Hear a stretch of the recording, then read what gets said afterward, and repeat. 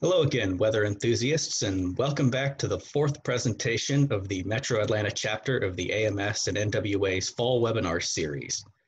My name is Sid King, and I'm the current president of our local chapter for the year of 2020. For those of you that are attending for the first time, over the summer we launched our first ever virtual series to encourage the sharing of scientific knowledge and create educational resources that are free for everyone to use. And it's our privilege to be doing it again this fall following the same principles. Here's the list of our speakers for the fall series. We had a great presentation by Katie Martin last week, and we have three more talks set for the remainder of the series, including this one today.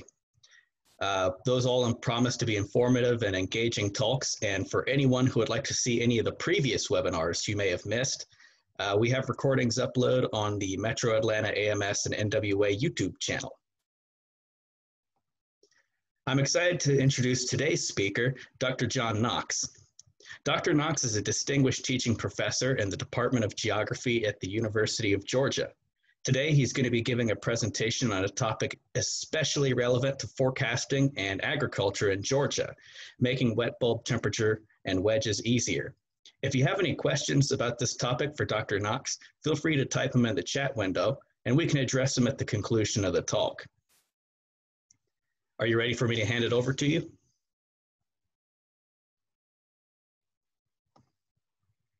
Yes, I am. Excellent.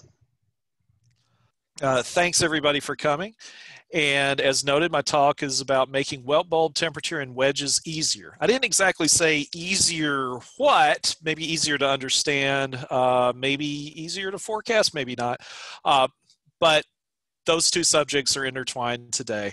And so this is work that I did with David Nevius and Pam Knox with a glancing uh, reference also to work I did with Jared Rackley. Uh, David, uh, David was an undergraduate here at UGA several years ago. Jared was an undergrad and also a graduate student of mine at UGA. The work I'm focusing on here was actually put, published in the Bulletin of the AMS a few years ago, but even though it's a little old, I think it's it's really worth looking at uh, for anybody that's interested in uh, understanding wedges, but also agriculture as well. I'll make a fleeting reference to that as well. So off we go. There we go. So I'm not assuming any knowledge here. Uh, I'm assuming that people uh, forget things over time, and that's okay. Uh, what is the wet bulb temperature?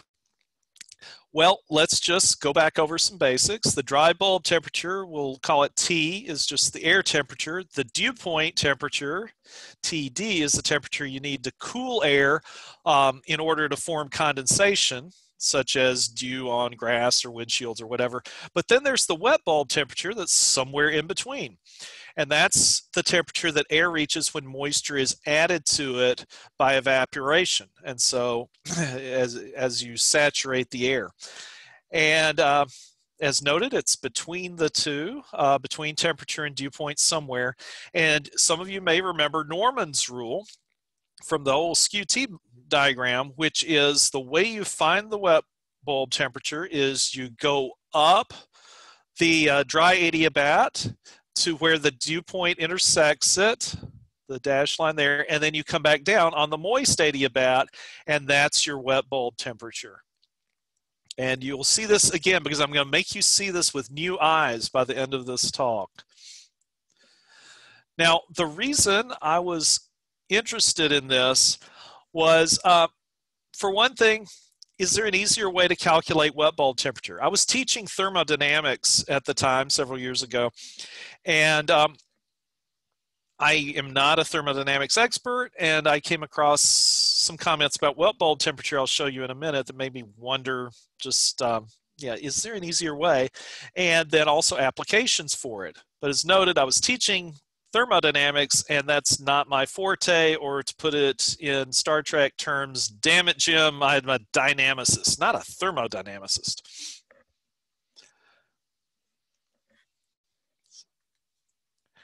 And so, how do you calculate the wet bulb temperature? Well, if you've ever taken an intro lab, You know about the old sling psychrometer, wet the little footy on the bulb of the temperature and go wee, wee, wee, all the way around until uh, it's done the maximum amount of evaporation. I showed you how to do it from a Skew-T chart, but I didn't show you how to do it from a formula. And it turns out that the formulas that you normally find for wet bulb temperature are nonlinear uh, or iterative processes. Here's one, an example from a paper by Roland Stull back in 2011. I would claim that this formula with all its arctangents and square roots and other stuff is not simple. So that's not what I was looking for. In Grant Petty's book, a great thermodynamics text that we use, uh, Grant says that there is, quote, no simple mathematical formula for dew points as a function of the wet bulb and dry bulb temperatures. And I took that as a throwing down of the gauntlet. And so I thought, are you sure? Really? It seems like there ought to be because if it's bracketed between the two, couldn't there be a way to use the temperature and the dew point to get to the wet bulb that's bracketed in between it?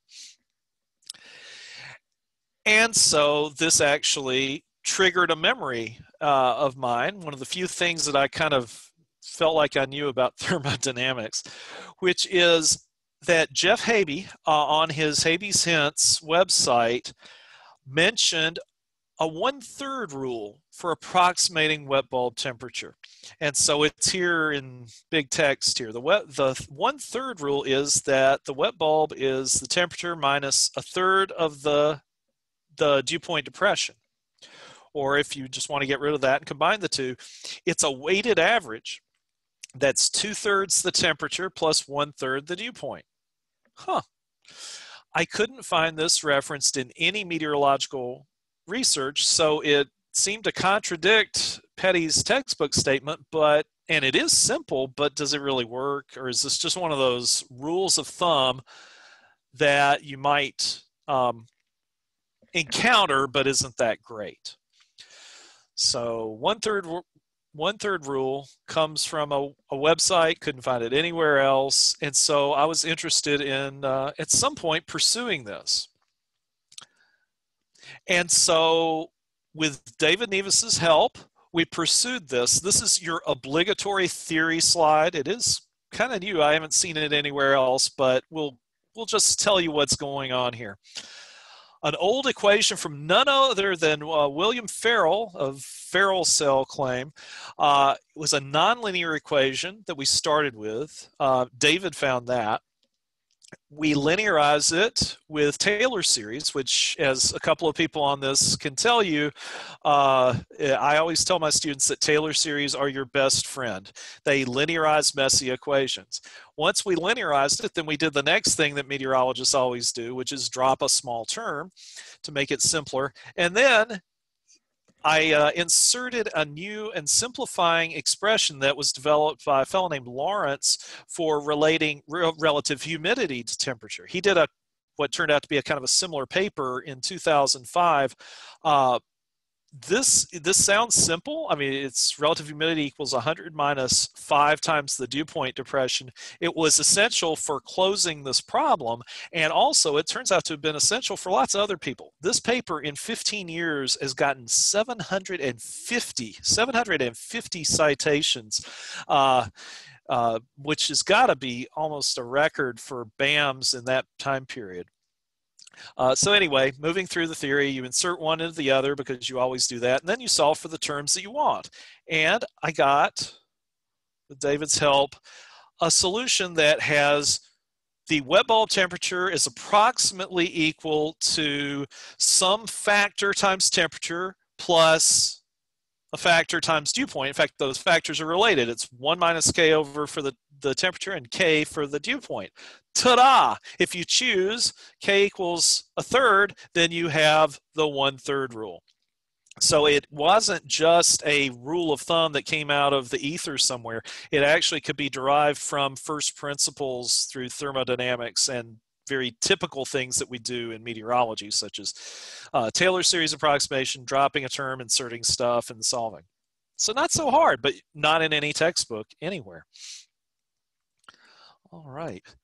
And so, just to show you how good this rule is, better than it really should be, uh, this diagram shows you where the, what the error is compared to uh, Roland Stull's big honking formula for this really, really simple little approximation. Anything that's shaded has less than one degree Celsius error. And you can see for small dew point depressions, this goes all the way to like 60 Celsius. So usually we think small is be right up here in the top left for small dew point depressions and, and low temperatures, also top left. This approximation is almost perfect. It's, it's near zero error up near um, the level of um, saturation in moist cold conditions. So not not hot and moist, but what we would call clammy or close or something like that in cold conditions. And so, where did this rule come from? Well, just to make us all feel kind of dumb, or made me feel dumb, when I realized it, this approximation's been staring us in the face ever since Skew-Ts were invented. So here is an example of starting with a temperature that's cold with a relatively moist situation where the dew point is not very far away from it. I've zoomed in on a Skew-T. If you go up and then down, look that the look at it. The wet bulb temperature is indeed between the two, but more than just being between the dew point and the temperature, look, it's asymmetric. The distance between the dew point and the wet bulb is about two thirds of the distance from the temperature to the wet bulb, which is saying the exact same thing that the one third rule said. So anytime you've ever looked at a Skew-T and ever done a wet bulb uh, temperature of, um, off of it, calculated it visually, this formula was implicit and nobody seems to have noticed except maybe some weather service people a long long time ago who told jeff haby so anyway doe it was there all the time but nobody else noticed it either so conclusion from this part of the work the one third rule for wet bulb temperature is accurate for relatively moist conditions say relative humidity of 50% or higher for temperatures that are somewhere on either side of like 4 celsius so maybe down to 0 or up to 10 or somewhere in there. This might sound like a common forecast problem condition because these are the conditions for which the wet bulb matters for precipitation precipitation type forecasting in situations that uh, you're not sure if it's freezing rain, sleet, snow, that sort of thing. It also helps for fo- frost damage prevention. I'm not going to, I don't have time to talk about that right now, but you can ask me a question about that later. So this brings us to the forecast problem, and it is the wedge. This is a, an awesome video that um, click it again, that uh, Jared Rackley put together for his master's thesis work that was published in Weather and Forecasting a few years ago. This is a WRF simulation of an actual wedge from October 2009, and you can just feel it gush all the way from North Carolina through South Carolina into Georgia, all the way down to the Gulf Coast in Florida past Tallahassee, but also with a little arm that goes into northeast Alabama and kind of feeds back up the valley, the ridge and valley area of uh, Tennessee. So wedges happen down here. We know that. The rest of the world, not so much. When we sent this paper in for review, there was somebody that actually said, Do these happen south of North Carolina? And we're like, Here's the video. Uh, they didn't ask that question anymore.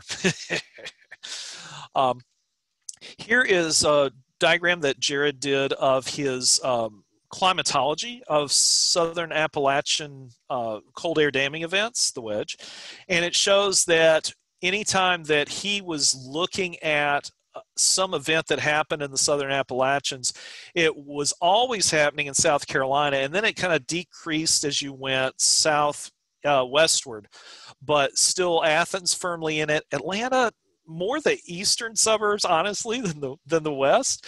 Um, kind of funny that way, uh, with an arm reaching down toward Albany, and then even Tallahassee sometimes, and another arm reaching more westward to to Anniston, and then a little bit to Birmingham, my hometown, and then maybe uh, not really over to Mississippi. So this just confirmed what I think we all knew anecdotally, which is the wedge is a bigger deal for Northeast Georgia than it is for Northwest Georgia. Uh, that Atlanta gets affected some of the time, but there are plenty of times that Atlanta isn't affected and Athens is. And so we get that colder air, sometimes moist, sometimes dry, kind of depends, but colder air at very, very low altitudes in uh, the Athens area quite a bit, and sometimes in Atlanta, and even more so as you go up northeast. All right, and so the also when does this happen? That was another part of Jared's work. And what we found was that these actually happen in all months of the year. So this is um, number of days per month in a climatology for uh, all events and then the strong ones. Um, and so what it shows you is that the wedge happens most often in the cold season in the southern Appalachians, but it can also happen in June, July, and August, at least a little bit. And we've seen that. Uh, we've had some pretty good ones, in fact, in August. Uh, a few years ago, we had a couple of them.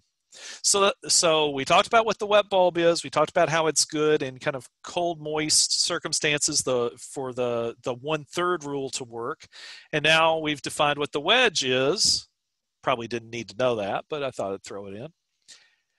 And so now let's talk about a particular wedge event that was an ice storm that was not perfectly forecast. This was the 16th and 17th of February 2015. And uh, this is the post-mortem from the National Weather Service. Thank you all for doing this. We have a graphic. I've put uh, Athens in the star there. And what you can see there is that Athens got uh, quite a bit of freezing rain, but also points to the north and northwest and also east of Athens got even more, uh, getting up toward almost a half inch of ice as a result. So it was a Northeast Georgia event that just grazed the eastern suburbs, northeastern suburbs of Atlanta, but it was a big deal where it happened. So freezing rain totals reached 200,000 people were without power uh, from the Atlanta metro area northeast and north and a little east. This is what the weather event looked like when it was rolling. And so what you had was it, not an analyzed uh, cold front with a wedge, but one of our familiar stalled warm fronts that we thought would make it farther north with an easterly wind or east northeast wind in both Athens and Atlanta. Um, but just above the surface, strong southwest winds and temperatures that were well above freezing. And so this is the classic setup for your ice storm, not just a winter storm, but specifically an ice storm where uh, the precipitation falling would not have time to uh, refreeze because it was warm coming down and then the layer of cold air was just super, super shallow, well below 850 millibars. And so here's the forecast for Athens that was issued the morning of the event and I got this from the uh, Iowa State Mesonet site, which is really great. And so what you can see here is that there was a forecast for temperatures to fall during the night and then reach 32 briefly as the air dried out. So kind of maybe on the back side of things when you go from an easterly wind to a north to a west wind. So so kind of on the back side of the storm, there might have been a chance for snow or sleet or something, yeah, something like that, but more a backside event, it seemed. Um, but by late afternoon, the forecast changed because the cold air was entrenched in more than more than the models had predicted, more than was expected. And so by late afternoon, there was a forecast of um, for Athens of maybe glaze to maybe two tenths of an inch of ice. But the real bad stuff to the north, uh, where a winter storm warning was issued for Gainesville and points uh, nearby. and that's where they could have maybe a quarter inch of ice possible, plus some snow. But even that didn't really happen. Um, what happened, just to remind you, is that Athens got at least a third of an inch and even more in some places of ice. So um, this was a, a little bit of a forecast bust. Um, not not a huge bust in that it was identified, but one of those inevitable things. Small differences in the forecast made a big deal in terms of the outcome right where we lived. Uh, so I went into my thermodynamics class and said, you know, that rule of thumb worked pretty well. And so I'll show you how it did. So over here are the observations at two time periods for Athens. Uh, in the afternoon, um, early afternoon, it was 38 with a dew point of 15, and it was raining uh, lightly in Athens. And what happened was, instead of the warm air punching through, um, we just kept getting the, the drier easterly air as it kept raining into it, and the temperature converged on the wet bulb. And so by uh, 2200, basically, um, so do the math, that's 5 p.m. ish. Uh, the temperature had come up to uh, come down to 31 the dew point had come up to 29 and so the wet bulb was somewhere in between and it had already gone over to freezing rain and so we got freezing rain basically late afternoon and well into the night so the rule of thumb here's my rule of thumb for the one third rule. Using just the temperature and the dew point i got a wet bulb of minus one earlier and then minus 1.3 it actually went down a little bit. Stull's formula very close to it but maybe not as accurate. Stull's formula um, was closer to minus two and the weather service reported a wet bulb rounded to one degree below uh, freezing. So um, I did this in class, so now I'm telling the story kind of the other way around. I showed this in class. David Nevius said, That's really interesting. I want to do a project on it. And it developed into the paper that we published in BAMS uh, as we developed all the theories. So it really started from this screen where it's like, dang, what was wrong with the forecast? And the thing was that the warm air didn't make it in, so we had a resupply of the cooler air that was unsaturated, and things just went down to the bulb temperature. The temperature just basically went straight to the wet bulb with no no warming or anything like that from the southwest. And so, all other things being equal, maybe this makes our understanding of the wet bulb and how it relates to wedges a little easier. Um, if the if big if the surface warm air advection is minimal, in other words, if um, if the forecast warm front never gets there, which those of us in Athens know that story, we've lived that many times.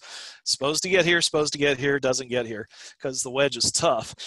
And at the same time, if the wedge, if there's air coming in that's not going to be saturated, so in other words, you saturate air, but then it moves on, you get more unsaturated air. Um, and then um, what you can do is you can use this really easy weighted average to estimate what the uh, temperature will fall to. You'll follow the, the wet bulb, and that's just two thirds times the temperature plus one third the dew point, which is an, a nice and easy rule of thumb. You can have a formula do it, but I kind of like being being a dynamicist at heart. I like the simple, elegant formulas that are backed by theory, uh, which we proved. All right. Well, that's what I've got. Thank you for listening. I hope that was interesting and look, sure looks like we have some time for some questions. So I'm going to stop sharing for the moment so I can look at people and uh, we can talk a little bit about this and the, and the weather service people can give me grief for, for complaining about a forecast. All right. Thank you.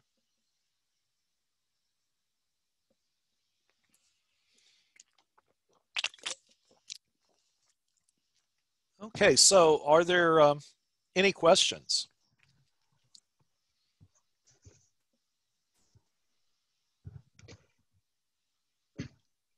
I stumped you.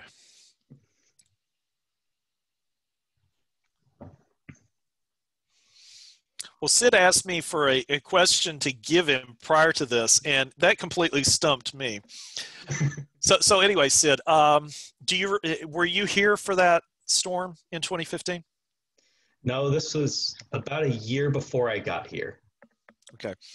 Yeah, good. So you won't throw bricks at me. That was my forecast. Um, it's a tough one. Uh, this is just inevitable um, in Northeast Georgia because the models still have some trouble with wedges.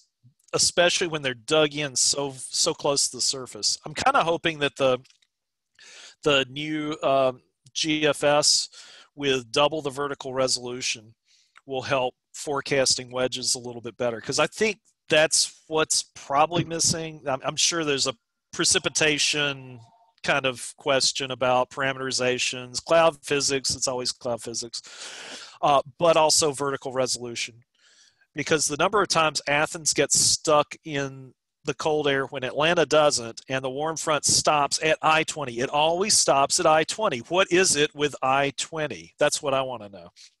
Um, but anyway, it, it, happens a lot. So it's kind of nice to know if if your forecast isn't working out. Well, what temperature could it fall to? So that would have been, I guess, how this might have made things a hair easier for forecasters on that day. If they had started to get started to get suspicious that the uh, the warm nose wasn't going to make it to the ground and the warm front was going to stall, they, they could have been like, uh, okay, where's this going to end up? And the answer was very clearly about 31 degrees. Um, I know that this was a rule of thumb for the Weather Service a long, long time ago. When I was uh, sitting in as an unofficial intern at the National Weather Service office in Birmingham, this is before Calera, that's how old I am. Um, they had an alarm on their AFOS system. You may have heard of AFOS. Uh, it looked like playing uh, an 80s video game with its trackball. It was cute. Anyway, they had some kind of alarm set up. Anytime in, I guess, winter, the, the wet bulb would hit 32 the alarm would go off because they wanted to know when the wet bulb temperature was was going to be in that range because Birmingham has some of the same situations where the air is cool to the wet bulb and then they get honestly I've seen it more with snow than with ice in Birmingham. But anyway so so now you've got a formula that doesn't have to be programmed a weighted average two-thirds temperature one-third dew point. So I guess this is a bit of a tangential question. Um, that's an uncertainty we deal with a lot when when dealing with the wedge and trying to forecast modes of precipitation is the behavior of that warm front and whether it's going to stall or whether it's going to move north because that is the difference between 39 degrees and rain or 31.5 degrees and freezing rain and right. do you have any any thoughts or any rules of thumb that you like for um, diagnosing the motion of that warm front? That's a great question and a research question, honestly. Um, what I, if there's anybody that knows somebody that wants to do a master's thesis, what I'd probably do is take the the list of the strongest events that Jared compiled for his master's and then look at surface pressures. Because I suspect that you could find that the one the ones where the warm front doesn't make it um, and stops at I-20 probably have a stronger uh, northeast southwest pressure gradient or, or maybe even just a north south pressure gradient than the others. I, I would expect because of the way the, the wedge manifests itself in um, in surface pressure because it's such a near surface process that that would be one of the things that would drive it. The other thing that would drive it is that wedges reinforce uh, are are reinforced by precipitation. And so the ones that are wetter are also going to be the the more doggedly persistent ones and so that might be the the rule of thumb. Um, but I haven't done it yet, so I don't I don't know how to tell you when the warm front's going to stop at I twenty. I, I really think that it's Thank something you. with the cars, right? It's the truck traffic, right? It just it, it creates vortices and it stops the warm front right there. Got to be the friction. Oh yeah, yeah. Other questions? I had a quick question for you. Hey, Allie. Does everybody know Allie since we're a small group? Allie is one of our graduates from UGA who is now a, a master student at Colorado State University and uh, one, one of our star students along with Molly who's up at up in my top left corner here. Thank you. All right. Um, I was interested. You had that um, that graphic uh, with like the the occurrence of the cold air damming, and I was yeah. curious. You mentioned all those separate arms, and that pattern kind of surprised me. I'm just mm-hmm. curious, like what is like top- topographically driving that? Oh, good question. Um, so let's see. Uh, let me go ahead and share my screen and uh, go back to that. Also gives a chance to look at this great video again. Um, what's interesting is this one event actually captures both both of the climatological patterns. So what I think the, the push that goes southwest down to the Gulf is kind of set up by the uh, southwest northeast alignment of the uh, Appalachians. So even once it gets past the the the high mountains of North Carolina and even past the pretty high mountains of Georgia, it just keeps going. And so it just goes zoom right down to um, Apalachicola is kind of where it's pointing at. And that's what we see in the climatology. Um, yep. See that almost straight down toward Tallahassee and Apalachicola. But then there's this arm that goes over toward Anniston. And I am not 100% sure of this, but I got some ideas. Um, and it might have something to do with I 20 in a way. They put the interstates where there's lower ground, right? You don't typically put interstates on top of mountains and so forth. And I, I think that you see the air channeling in a couple of different places through. Um, valleys or passes a little bit. And so in this video, you can see it going right up toward Chattanooga and then up the ridge and valley. And then the other part pushes toward Anniston, which is not exactly low ground, but it's, I think, lower than on either side because a little south of there is the highest point in Alabama, Mount Cheaha, which is 2,407 feet above sea level. Anniston is less than a thousand, and then some of the territory up in northeast Alabama is well over a thousand uh, feet. Pam and I have been up there. That's the Little River Canyon area and so forth. It's quite rugged. So I think the cold air is just basically the stuff that goes toward Florida is just going whoosh, uh, just from inertia. It's been going downhill all the way and it keeps going. The other parts uh, just kind of branch off through uh, somewhat lower lying areas in between mountains and then go back up the valleys. Cool, thank you. All right, that's a great question. Yes, we got uh, about three minutes left. And let's see, I, I needed to share this things back with um, there there, Sid. I, have I've done it so that you can um, share too. Any other questions before we get it wrapped up here? Can I ask, a, John? Can I ask a quick question related to the question about why we would see the advancement of the warm front sort of stall near I-20?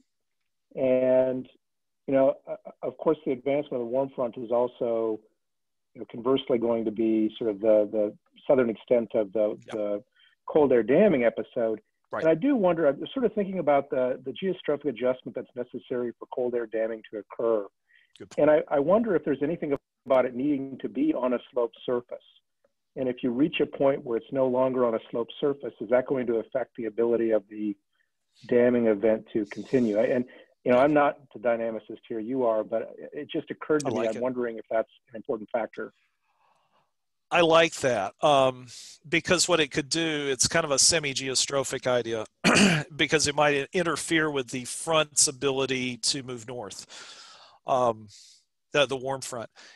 It, it, clearly, the cold air can keep shooting downward. It just it, it like that video uh, shows for that really impressive uh, event, wedge event that went all the way down to Florida.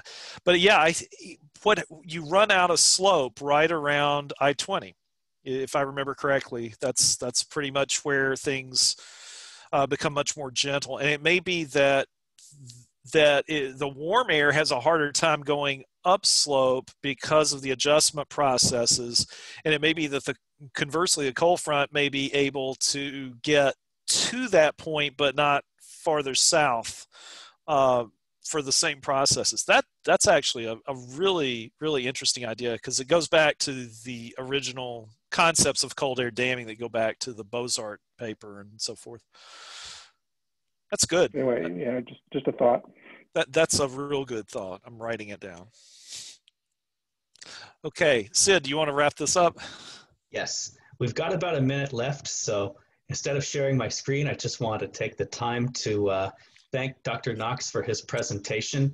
Uh, the first thing I'm going to do is share this with the uh, with the other forecasters, and uh, hopefully we're uh, hopefully the people that were here in 2015 don't take it too personally.